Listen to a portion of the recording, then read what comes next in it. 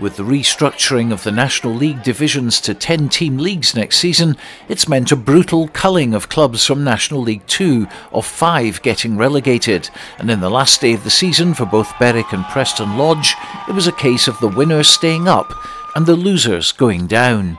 That made things very tense, and a crowd of well over a thousand turned up at Pennypit Park to watch the drama unfold.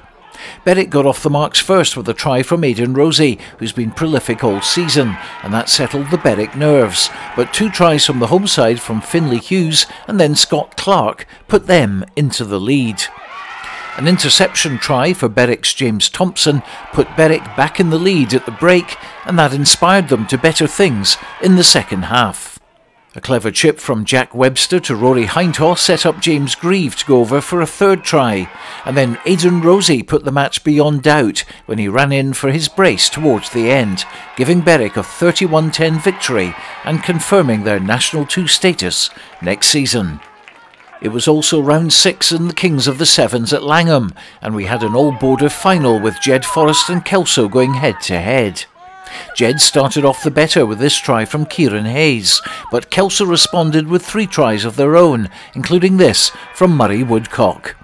Jed got a consolation try back from Lewis Young, but it was Kelso who landed the spoils by 17 points to 14, just a week after winning promotion to the Premiership. Stuart Cameron, ITV News.